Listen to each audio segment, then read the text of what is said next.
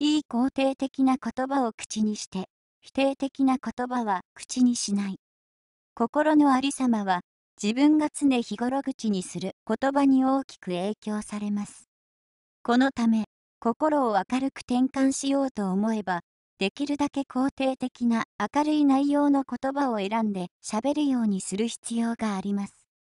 逆に、否定的な暗い内容の言葉はできる限り口にしないようにするべきです。人はみんな言葉によって運命を作るという格言もあります。言葉を発すると必ず言葉の意味するイメージが心の中に呼び覚まされます。言葉とイメージは一体であるとも言えるのです。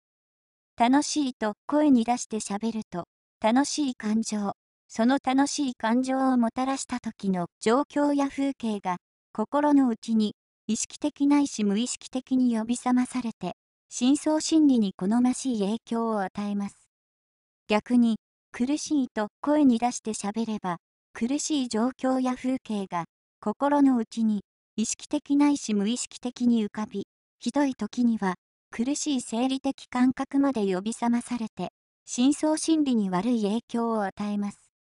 これは、美味しいものを思い浮かべると、その匂いや味が感覚的に添えたり、酸っぱい梅干しを思い浮かべると、反射的に唾が出たりするのと似ています。日常生活でも、ダメだとかいけないとかの否定語は、できるだけ使用しないように心がけます。例えば、同じ意味でも、朝寝坊してはいけませんというより、早起きしましょうという方が、心にはいい影響を与えます。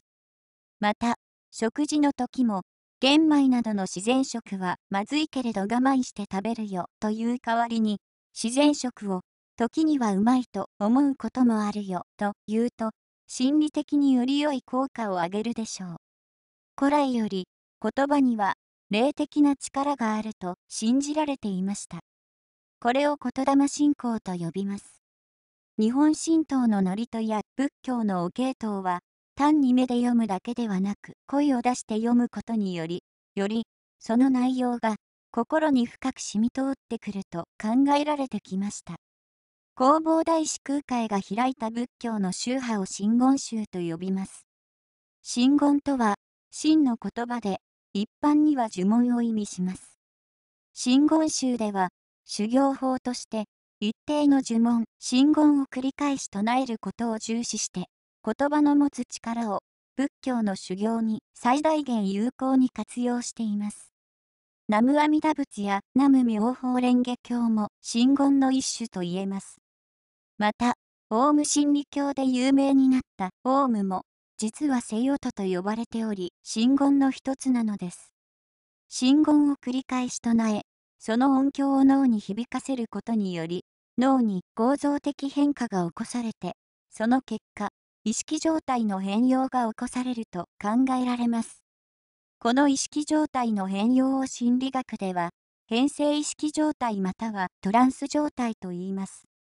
この変性意識状態が好ましい方向に向けば、超能力が開発されたり、悟りの境地を実現できたりするのだ、という説を唱える人もいます。別の表現をすれば、真言は、おもねより行きやしすなわち、深層心理を変化させるキーワードである、とも言えます。キリスト教の聖書にも、